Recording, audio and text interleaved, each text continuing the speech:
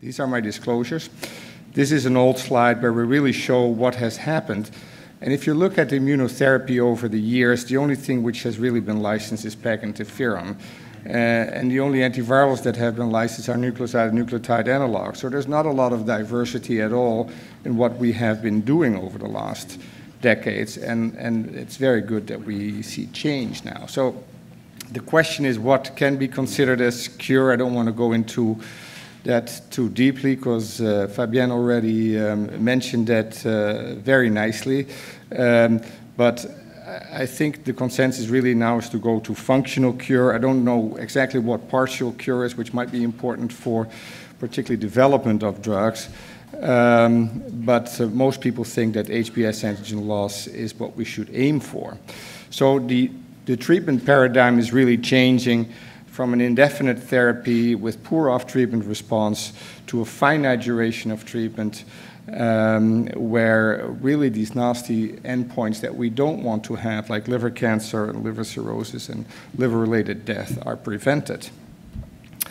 So the, last year, like a year ago, we had a very interesting discussion. There was a group of virologists and a group of immunologists in the room, and at the roundtable discussion, it went back and forth what is the role of both. And there's, there's something to say for both. Uh, would you would be the virological approach enough? And even within companies, there are virologists say, well, we, I don't know if we need immunologists at all, because the virologists say that blocking viral replication at multiple steps might, and, uh, might eventually eliminate cccDNA and eventually cure HBV infection. There will be no infected hepatocytes left. It's very debatable if that's true. It would be important, though, that we need better assays to really uh, detect a very low level of replication um, which we don't have in our hands now. And the other things that is mentioned is that once you decrease the viral load or the, or, or the protein load, that by itself might mount an immune response, which would not need any immunological treatment. And there's some examples of that. There's modification of antiviral therapy uh, leading to an effective immune response. That, for an example, stopping treatment, I'll show you in a minute, and also long-term treatment. We know that long-term treatment that people do get S antigen loss, not at a very high extent with, with, with uh, antivirals, but if you stop the antivirals, it's sustainable in the vast majority of the patients. Then on the other side, you have the immunologists. The virus integrates, it's very difficult to get rid of CCC DNA. Fabien mentioned that very clearly. Um, and the proof is obviously that even patients who have S antigen loss or seroconversion, once you give them uh, like profound immune suppression, they will relapse, and they will even relapse with an S seroreversion. So that is, um, and we've seen that in, in, in, in, many cases. And we do have effective immune control uh, by giving uh, PEG interferon, although it's in a limited proportion of patients. Here's an example of what stopping therapy could do from uh, Thomas Berg, who did the first randomized study on this. Other studies are ongoing. And in the vast majority, you have a relapse of HBV DNA. Um, but if you're courageous enough not to reinitiate treatment very quickly, you'll have patients in there, not many, but part, I mean, let's say 10, 20% of your patients, where you do see an S antigen decline and even an S antigen loss. Because here you see on the left side uh, the patients who stopped treatment uh, and the amount of S antigen reduction, and on the right side, patients who continued tenofovir treatment, where there was virtually no S antigen loss or reduction, and it was the case in patients who stopped therapy. So this is just by mod modifying nuke therapy. So theoretically, obviously, it's a very attractive option to combine the two. The agents are complementary to each other. Uh, HBV uh, impairs innate and adaptive immunity, and if you lower the viral replication and protein load, as I mentioned, that might by itself enhance an immune uh, response. Uh, and the question is whether immunotherapy, and this is what many people think currently, might tip the balance towards a cure, a functional cure of hepatitis B. The problem with immunotherapy is that it, it, might have a smaller therapeutic window. You have to be very careful on how to dose these agents because if you underdose it, you won't have any effect. But if you overdose it, you could get cytokine storms and all kinds of nasty side effects that we don't want to have, particularly in these hepatitis B patients with very good treatments in our hands. Because remember, it's, it's very different to hepatitis C, where we had a lot of back to the wall patients. In hepatitis B, patients have a good therapy, and we have to uh, uh, give them a better therapy, but without uh, any, any side effects, really. And then there's a heterogeneous response um, uh, which is very often seen. I would say more so with host targeting therapy than with virus targeting therapy. So there's a lot of different options. Um, and there's also a treatment naive population as well as a huge warehouse of patients who are already uh, suppressed, who are on antivirals for a long time and they might want to be cured. And if you compare the two populations, they're, different. So the, the treatment naive population is typically younger, have active disease. HBV DNA can be used as a biomarker, there's no resistance. Uh, and they might be more likely to accept finite treatment. Then we have the suppressed population uh, who are already on an effective and a safe treatment. Uh, they might have a partial immune restoration, which might help immune modifying therapy. They're potentially better protected against flares, but they also might have more objections to accept experimental therapy, particularly if they're a bit older and they, they take uh, their antivirals and they think one pill a day will keep uh, the hepatitis away. So, so it's really uh, sometimes challenging to uh, enroll these patients into studies.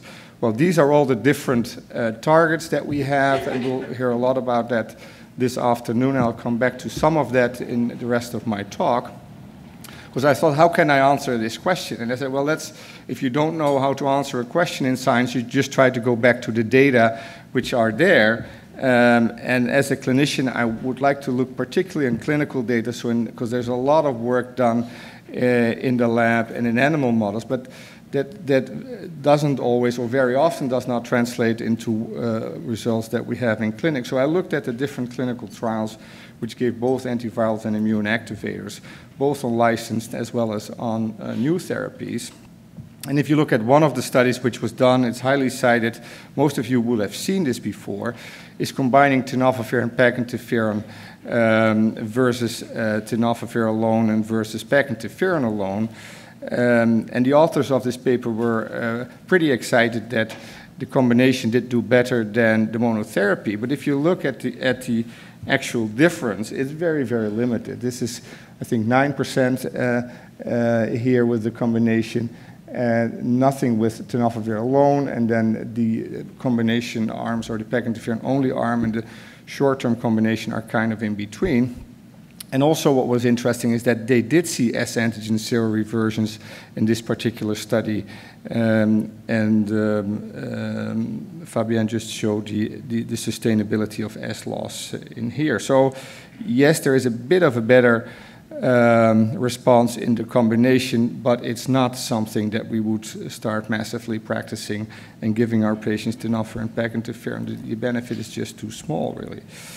Um, then another strategy where, uh, um, where a lot of people are working on is to first decline the viral load, as I mentioned, to get rid of T cell exhaustion. And if you do that long enough uh, and then come in with an immune modulator, uh, where you might, might, be more effective. So this is what we did in this particular study, where we gave entecavir for half a year, and then, and we've also done it with longer treatment, and then randomized patients in either PEG interferon add-on or entecavir alone.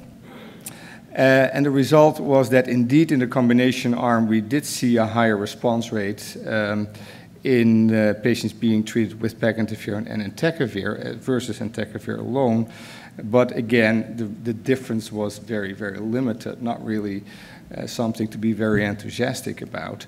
The interesting part of this study in particular, though, is that the quality of the response with interferon, so the sustainability of response, seemed to be higher with PEG interferon than with uh, entecavir. So the, we had more patients who, off treatment, remained to, in a response once they had had PEG interferon versus those who only were treated with um, entecavir. So that means that that might also be very relevant for future agents, that a specific response for one drug might not be as sustainable as it is for another drug, really. So that is a very difficult point also when we're discussing endpoints.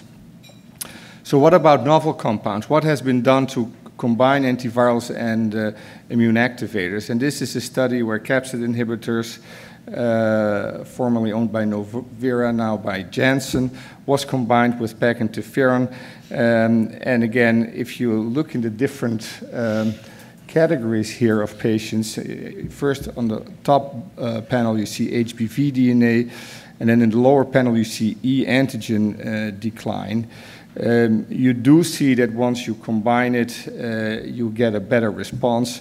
But again, the difference with PEG interferon alone is not uh, is not mind-boggling really. And the and the problem here is that they saw a very negligible effect on S antigen, which you might not expect with this particular compound with the capsid modulators. Then there are the, uh, the, the, pattern recognition receptors, the TLR agonists, uh, RIG-I, etc.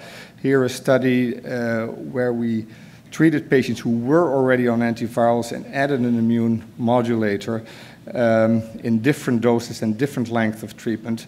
Um, and the drug was very well tolerated, but the effect was limited, close to zero, really. So um, there was definitely an effect on in interferon stimulating genes. However, it was disappointing to see that we didn't see any S decline in these particular patients. Same holds true of therapeutic vaccination. We've been working on therapeutic vaccination for decades. Almost all of these studies are unfortunately negative, um, and every time we come in with a new vector or uh, new peptides, um, and um, um, and it, it is an interesting concept. It is, however, very challenging for people who have had this disinfection with their viral load, with their huge load of proteins for decades, to, to tip the immune balance uh, just with the vaccine. Anyway, so what we did here is we had an tenofovir only group, and we had this uh, GS4774 uh, vaccine with the yeast-based vaccines called Tarmogen, packed with different epitopes. Uh, we gave different doses uh, of the vaccine in combination with uh, tenofovir uh, and tenofovir alone. And it looked pretty promising here at week uh, 24. If we looked at HBS antigen decline uh, from baseline, the treatment was given for 24 weeks. Uh, with, a, with, a, with a better response rate in the groups who were treated with the vaccine. However, off treatment, um, uh, so only the last 24 weeks, only tenofovir was given. The, the responses really leveled out, and unfortunately, we didn't see a lot of effect of this vaccine either. Um, then, just as a last example, um, we have the checkpoint inhibitor, so PD-1, PD-L1 inhibition can reverse immune uh, exhaustion of HBV-specific T cells. This is done. This is work done in, in, in, Germany from Roggendorf's group, where he really combined in an animal model, in a woodchuck model, uh, entecavir together with the DNA vaccine and together with an anti-PD-L1 uh, antibody, and there seemed to be um, an additional effect of combining these three. If you look at this blue curve, which contains all of the three components where you would have the best effect. Then again, this was also done in humans in a different setting, obviously, um, where a therapeutic vaccine was given together with nucleoside analogs and an anti-PD-1 uh, antibody. Uh, and this was done with nivolumab in a, in a low dose, uh, I would say three, actually two different doses. So one group was given nivolumab alone, um, and in 0.1 milligram, then there is 0.3 milligrams in between. Um, and the, the, third group got the vaccine that I've just mentioned you about, and the endpoint was 16 weeks um, after, uh, uh, after treatment, really. Um, and if you look at this combination of, uh, again, antivirals and um, immune modifying agents, again, there's a very modest uh, response overall. Um, and if you combine the group of uh, actually nivolumab uh, together with the vaccines, actually two immune modifying agents, it's not really better than nivolumab uh, alone. So there is very limited evidence yet that um, we need immune modifiers, but then again, the antivirals are also not sufficient enough to give us uh, the answer to functional cure. So in conclusion, ladies and gentlemen, targeting the virus, I think the therapies uh, targeting HBV directly are effective and welcome in many flavors and interfere in different steps of the replication cycle. And change in the viral load has been shown in a minority of patients to induce functional cure with S loss, either by long-term nucleoside analog therapy or by stopping therapy with targeting the immune system, we're making very small steps, and we just are at the beginning of the road. So don't be in despair. I mean, we started with hepatitis C with 5% response, and we eventually got there. Um, and um, but the first responses to antivirals, at least in the clinic, uh, have been negative or very modest. And it's also a reason that we started very slowly and very carefully not to induce too many side effects. Because, the, the, the, again, the therapeutic window is small, there is a heterogeneous response, and I do think we have a long way uh, with immune modulators to go, and combination therapy is most likely needed. so, to come back to my question, are immune modulators really needed to cure HBV infection? The answer is I really don't know.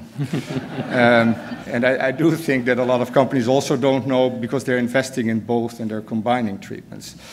Uh, I would say probably yes, we might need these immune modulators over time because we have no functional cure with the approach targeting the virus thus far. And I personally doubt whether we will ever will.